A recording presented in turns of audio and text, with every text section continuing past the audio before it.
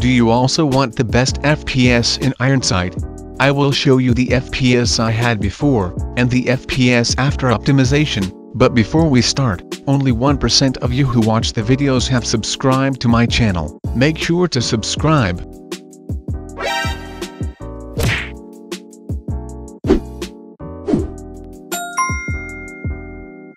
First you need to go here, type check, press on check for updates.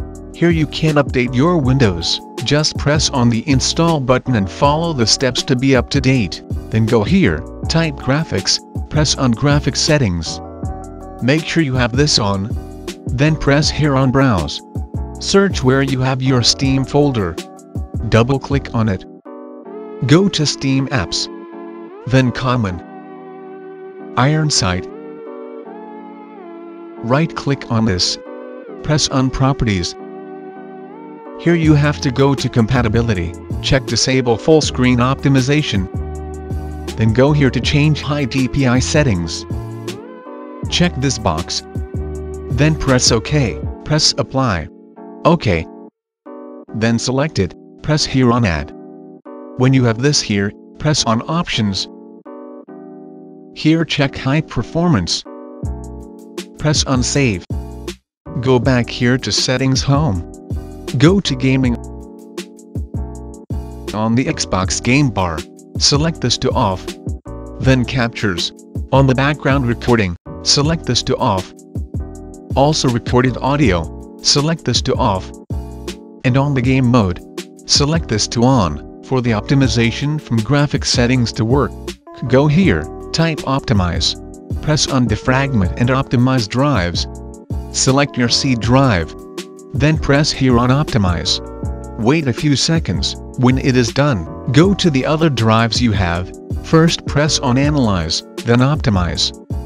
Now you need to have the Ultimate Performance Guide on your PC, so go here, type CMD, right-click on Command Prompt, and press on Run as Administrator. Then this page will pop up. Here you have to paste a command, copy this command from my description.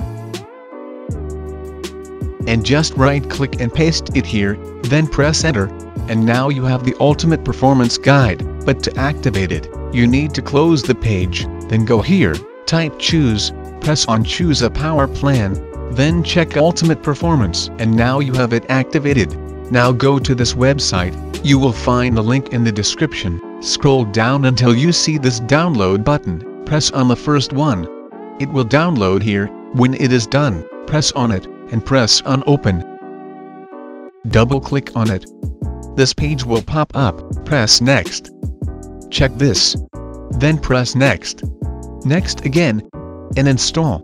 Wait a few seconds, make sure you have this checked. Press finish. It will open automatically, now here on the system power plan, you have to select ultimate performance because that's how I set it before as you saw. Then here on the core parking, drag this to 100%. Frequency scaling, drag this to 100%. Turbo boost, drag it to 100%. And performance, also to 100%. Then press here on apply. Press OK. Close this page. Go to this website now timer resolution, press here on free download. Then press on download now. It will download here, when it is done, press on it and press on open. Double click on this. And this little page will pop up. Now as you can see here on the current resolution is 1000 milliseconds, press here on maximum.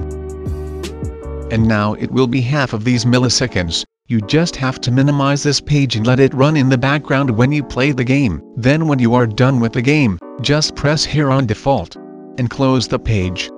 Now open the game. When you are here, press on options up here. Then press on video.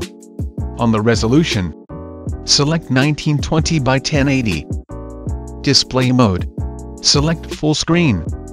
Vertical sync, select deactivate. Field of view, select 70. Contrast, select it like here. Brightness, the same. Limit FPS, drag it to 300. Display FPS.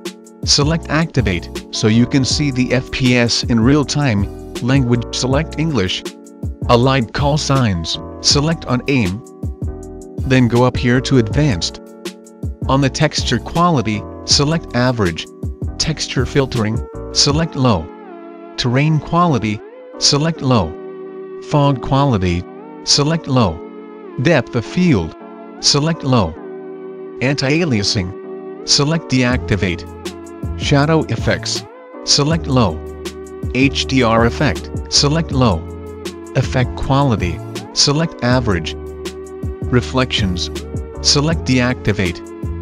SSAO, select Deactivate. Motion blur, select Deactivate. And distortion, select Deactivate. Then press here on Apply, and enjoy the game. I hope you found this useful. Don't forget to subscribe. See you in the next episode. Bye.